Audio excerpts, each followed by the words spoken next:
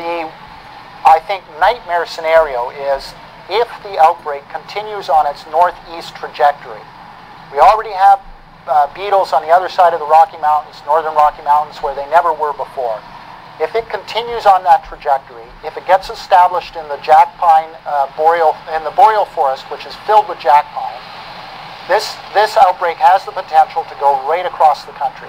And it would be an unprecedented event uh, in, in, in our history. And I, I think you would have to go back to the last ice age to find an event that widespread uh, in scale to compare with, and that it has, uh, has implications that could last for generations. Infestation exceeding anything um, as far as how bad it can be. Um, it's worse than anybody predicted it could ever be, and the potential for it to get even worse for moving across Canada is, is definitely there. The distances that the infestation reaches each year to exceed everybody's expectation. The level of infestation compared to what you know science tells you is, is extreme. So they're stretching the season in length. They're stretching how young of species uh, of pine they're going into, and, and actually the species they're going into.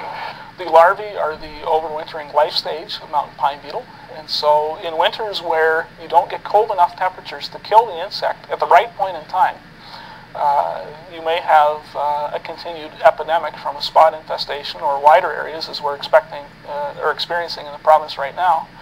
Um, you'll, you'll get an outbreak. Mountain pine beetle is very cold susceptible in the winter to uh, especially temperatures minus 40 degrees Celsius and below. But they have to occur in the right time. The larval life stage of mountain pine beetle is the most cold tolerant. Um, and uh, the cold tolerance seems to build up as the winter goes on. So what you really need is a cold snap when the beetle is least expecting it, either early in the spring or uh, late in the fall.